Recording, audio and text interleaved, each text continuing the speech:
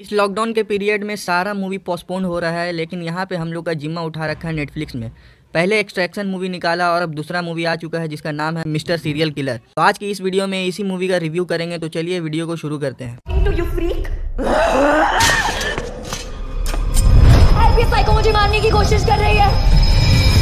इस मूवी के writer and director हैं शिरीष कुंदर और इसको प्रोड्यूस किया है फरहा खान ने जो उसकी वाइफ है।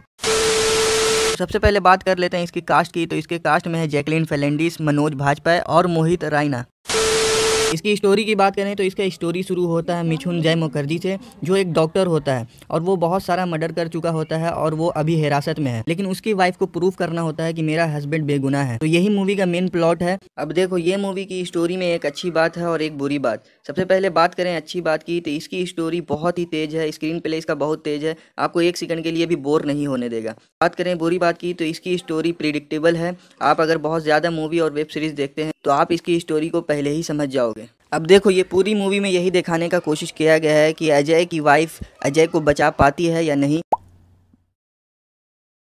सबसे पहले बात कर लेते हैं एक्टिंग की। तो इसमें मनोज भाजपा नो डाउट बहुत बढ़िया एक्टिंग किया है। मतलब लाजवाब उसकी एक एक एक्सप्रेशन मतलब बहुत अच्छा है। तो आपको अगर मनोज भाजपा के फ़ैन है तो आपको ये मूवी ज़रूर देखना चाहिए।